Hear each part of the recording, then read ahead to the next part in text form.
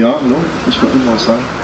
Ähm, zu der kämpferischen Perspektive auch international eine sehr interessante Information. Wie wir alle jetzt festgestellt haben, müssen wir uns gegenseitig informieren, damit wir gemeinsam was auf die Beine stellen. In England haben alle Gewerkschaften, alle bedeutsamen Gewerkschaften gemeinsam beschlossen, einen Generalstreik auszurufen. Und zwar äh, der erste seit 1926. Und äh, das ist äh, auf jeden Fall mal eine bedeutsame Nachricht. Und ähm, vorhin wurde ja hier gesagt, anscheinend kommt immer erst was in Nachrichten, wenn die Leute dann auch schon erst auf die Fresse bekommen. Und ähm, als ich mich gerade nur so einen Meter weiter auf die Straße gestellt habe, hat mir der Polizist äh, suggeriert, dass äh, mich ja rein zufällig mal umfahren könnte. Und das äh, wolle er nicht, weil er den Auftrag hat, mich zu beschützen.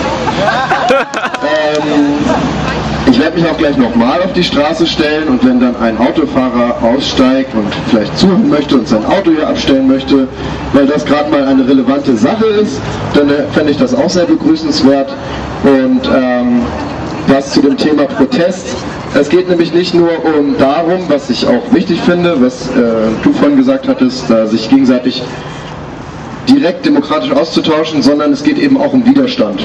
Und ähm, wir werden dieses kapitalistische System nicht überwinden, äh, wenn wir nicht Widerstand leisten und äh, ja, das, äh, die Illusion dürfen wir uns nicht machen und die äh, Leute, die in Spanien jetzt gerade reichlich eingedeckt werden mit Polizeiknüppeln und Pfefferspray und was weiß ich nicht alles, die setzen auf den äh, deutschen Widerstand, weil wenn der nicht da ist, dann ähm, kann es in den anderen Krisenländern äh, noch sehr, sehr lange kriseln.